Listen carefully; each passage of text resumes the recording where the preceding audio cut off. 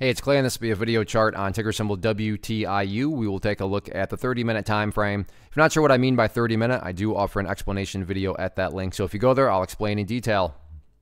Well, I don't mean to state the obvious, but I will anyways just uh, establish some context here. But very, very nice bounce. I mean, you stop and think about the fact that the price was just down around this area of the chart, and now it's worked its way back upwards. Sure, it's pulled back from its highs, but still, relatively speaking, from where it was to where it is right now, any rational person says, yeah, it's been a nice bounce. But that does lead to the more than valid question of, but is there any sort of true power behind this price movement? Is there any sort of genuine strength?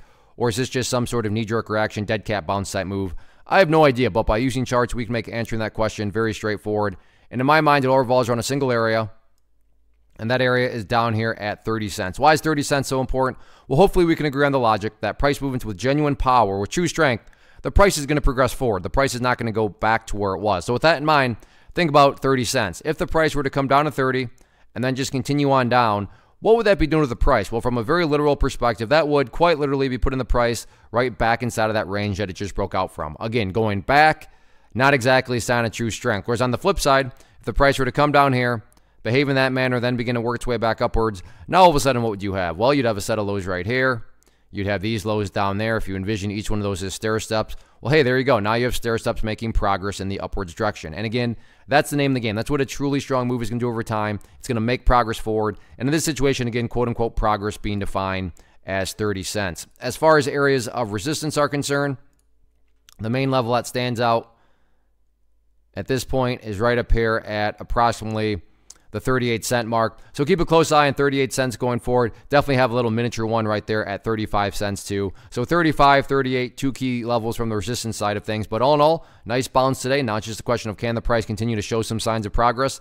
Let's see what happens with it.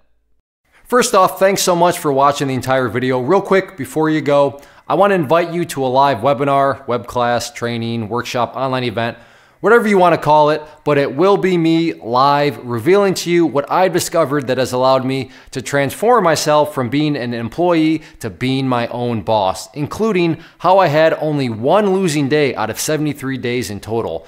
I'm going to cover three keys that have helped me unlock profitable consistency within the markets. The first key is super weird, but in a productive type of way. The second key is super awesome because it quite literally is wired into our DNA as humans, making it very easy to use. But in a cruel way, this becomes a pitfall for many traders. I'll explain it all though, including how to avoid the pitfall that it creates for some. And yeah, the third key, when you hear it, sounds way too good, way too good to be true, but it's not, and I'll show you how it all works. Then at the end, I open it up for a question and answer session that is, again, totally live. Even if you can't make the live session, please still sign up as it will be recorded and you can go back and watch the replay that I will send you.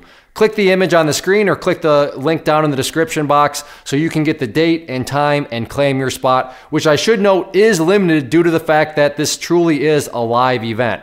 If you have any questions, let me know. If not, I'll be seeing you soon.